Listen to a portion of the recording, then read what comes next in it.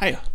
So you come into a WordPress site that you aren't maintaining and you're curious if it's got some bad stuff on it. One of the most common tools that I hear people recommend is a plugin called Sucuri Site Scanner. And what it does is just kind of go through your site and look at everything to make sure nothing looks wrong.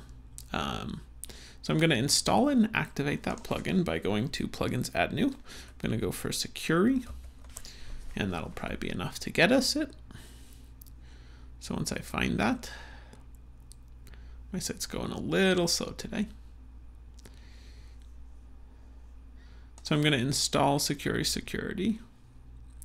By the way, what a strange and uh, annoying spelling of this word this word has. Everyone spells it wrong.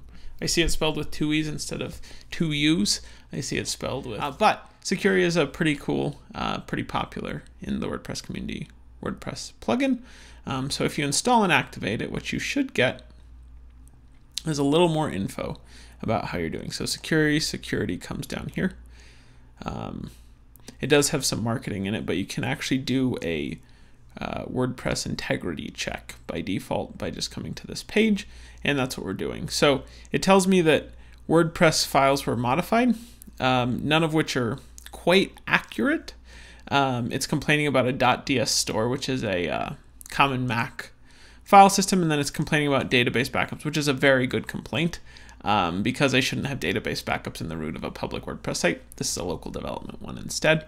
Um, and then this Yaw Stripe folder shouldn't really be where it is. Um, so what's really nice is that it's got both an audit log and this kind of basic scanner in it. Um, it also will log your logins, if that makes sense. So it'll show you who's trying to log into your site and when and where from. Um, so those are just some of the basic security features of the Sucuri WordPress plugin. It also has Sucuri's most prominent feature is actually a what's called a web application firewall. Um, and you can hook that up via this firewall API. Um, but that's a more complex configuration. That's a paid service that you would use. Um, it's nice because it's not on your server, um, but it has the downfall that it's not on your server, so it's a little harder to set up. Um, but if you're interested in security, Sucuri is a great first stop. Um, so definitely check it out. Hope it's helpful.